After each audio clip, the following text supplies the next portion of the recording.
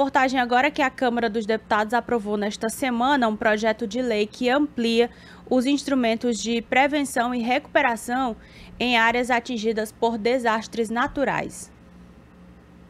Para ampliar os instrumentos de prevenção de desastres e recuperação de áreas atingidas, a Câmara aprovou o projeto que altera a Política Nacional de Proteção e Defesa Civil, estabelecendo ações de monitoramento de riscos e produção de alertas antecipados. O deputado fluminense Tarcísio Mota, do PSOL, defendeu investimentos na prevenção.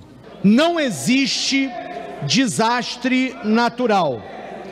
Todo desastre decorrente de efeitos adversos climáticos, ele ocorre sobre um determinado território, e se esse território é mais ou menos vulnerável a esse desastre, ou o Estado brasileiro investe recursos na prevenção aos desastres socioambientais, a adaptação das cidades às mudanças climáticas que já ocorreram ou essas mortes continuarão a acontecer. O texto, que retorna ao Senado, inclui medidas para evitar desastres induzidos por atividades humanas.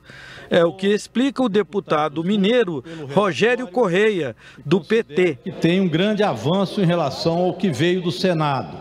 O deputado Zuco fez um projeto de lei para recuperação de áreas atingidas, que em geral têm sido áreas atingidas por desastres ambientais.